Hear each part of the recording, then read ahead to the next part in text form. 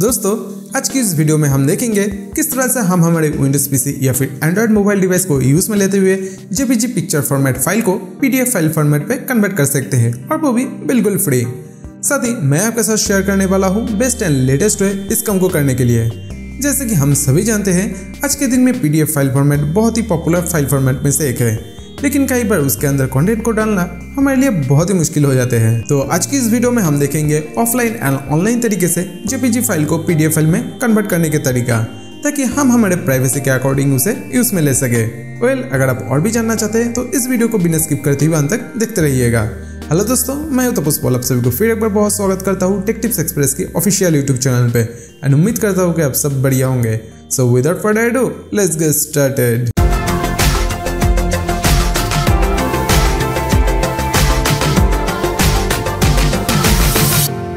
okay तो अगर आप Windows 10 पीसी को यूज़ कर रहे हो, फिर आपके लिए Windows 10 पे एक बड़ी ऑप्शन है, जो कि है पिक्चर ऐप जिसे यूज़ में लेते हुए हम मल्टीपल पिक्चर्स को एक सिंगल पीडीएफ फ़ाइल में कन्वर्ट कर सकते हैं। तो इसके लिए आपको सबसे पहले विंडोज़ सर्च बार पे आके सर्च करना है फ़ोटोज़ फिर सर्च रिज़ल्ट में से फ़ोटोज़ ऐप को ओपन कर लेना है।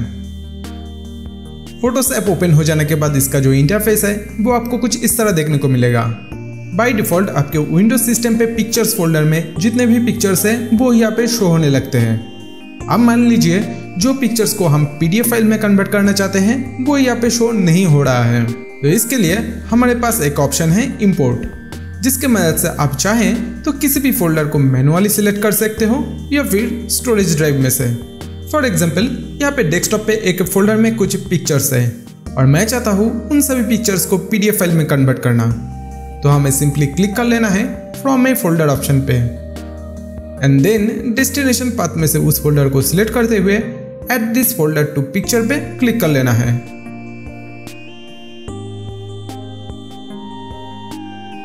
अब आप यहाँ पे देख सकते हैं, उस फोल्डर पे जितने भी पिक्चर्स हैं, वो यहाँ पे शो होने लगे हैं।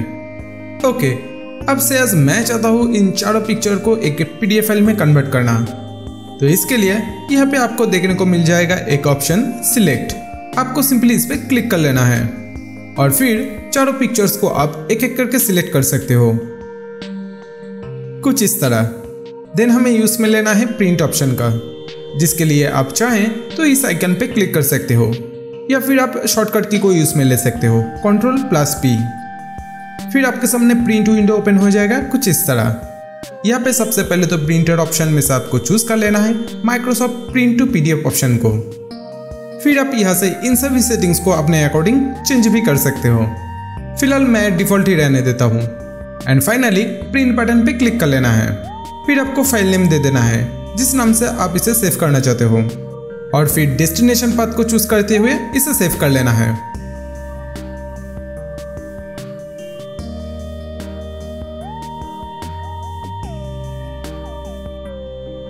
ओके तो जैसे कि आप देख सकते हैं, ये सक्सेसफुली एक पीडीएफ फ़ाइल में कन्वर्ट हो चुके हैं।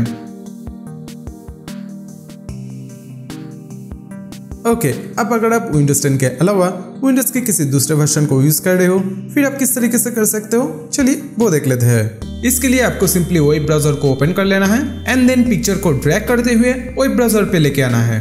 देन आपको अपने कीबोर्ड में से एक साथ प्रेस करना है control plus P for print या फिर यहाँ से थ्री डॉट पे क्लिक करते हुए आपको जाना है प्रिंट ऑप्शन पे। फिर डेस्टिनेशन के पास जो ड्रॉप डाउन मेनू है, उस पर क्लिक करते हुए आपको चूज़ कर लेना है सेव एस पीडीएफ ऑप्शन को। एंड देन बाकी सेटिंग्स को अपने अकॉर्डिंग ट्विक करते हुए इसे सेव कर लेना है।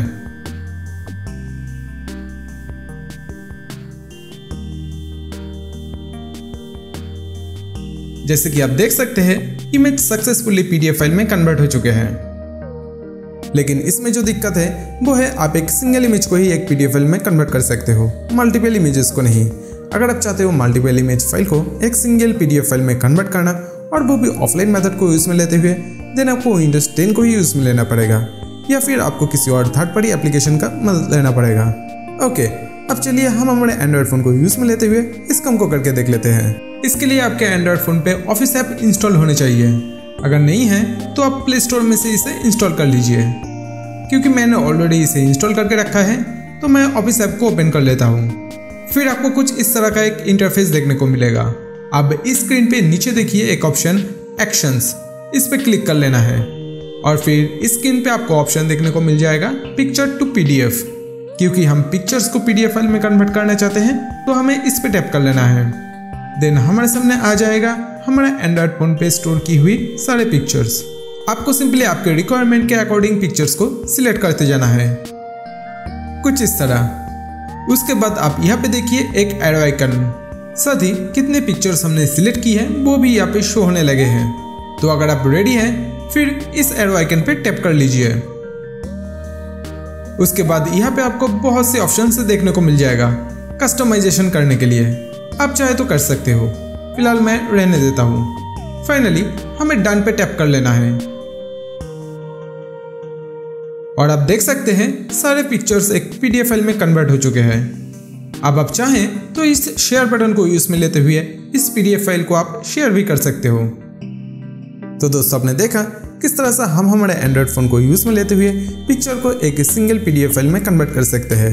अब चलिए हम ऑनलाइन मेथड को भी एक बार देख लेते हैं। प्रोसेस पीसी एंड स्मार्टफ़ोन दोनों पे सेम है। इसके लिए तो आपको सबसे पहले वेब ब्राउज़र को ओपन कर लेना है। फिर आपको विज़िट करना है इस वेबसाइट पे। नीचे वीडियो डिस्क्रिप्शन पे मैं वेबसाइट लिंक छोड़ दूँगा जहाँ से आप डायरेक्टली इस पेज पे लैंड कर सकते हो। ओके उसके बाद सारे पिक्चर्स को आप ड्रैग करते हुए यहाँ पे छोड़ दीजिए। फिर आपको थोड़ा सा वेट कर लेना है। सारा फाइल्स अपलोड होने तक। ओके फ़ाइल सक्सेसफुली अपलोड हो जाने के बाद आपको कुछ इस तरह का एक इंटरफेस देखने को मिल जाएगा। फिर आप चाहें तो यहाँ से सेटिंग्स को आप अपने रिक्वायरमेंट के हिसाब से एडजस्ट भी कर सकते हो। Then last step create PDF now इस पे क्लिक कर लेना है। फ़ाइल सक्सेसफुली कन्वर्ट हो जाने के बाद आप यहाँ से पीडीएफ फ़ाइल को डाउनलोड कर लीजिए। तो दोस्तों आपने देखा किस तरह से हम पिक्चर फ़ाइल को पीडीएफ फ़ाइल में कन्वर्ट कर सकते हैं और वो भी बिल्कुल फ्री में। यहाँ पे जो प्रोसेस मैंने आपको बताया है, मेरे नॉलेज में ये अब तक की बेस्ट ऑप्शन है इस काम को करने के लिए। आप भी एक बार ट्राई ज़रूर करें और नीचे कमेंट पे शेयर ज़रूर करें आपका एक्सपीरियंस मैं उम्मीद करता हूँ कि आपके लिए ये वीडियो बहुत ही हेल्पफुल रहा होगा पसंद भी आया होगा। अगर पसंद आया है तो प्लीज़ इस वीडियो को लाइक करना मत भूलिएगा और साथ ही साथ अपने दोस्तों के साथ भी शेयर करना, ताकि वो भी इसका फ़ायदा उठा सके।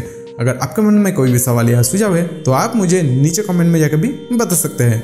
और इसी तरह हेल्पफुल वीडियोस के अपडेट के लिए आप हमारे चैनल को सब्सक्राइब कर सकते हैं। तो चलिए फिर मिलते हैं एक दूसरे नए इंटरेस्टिंग वीडियो के साथ। Till then bye bye and take care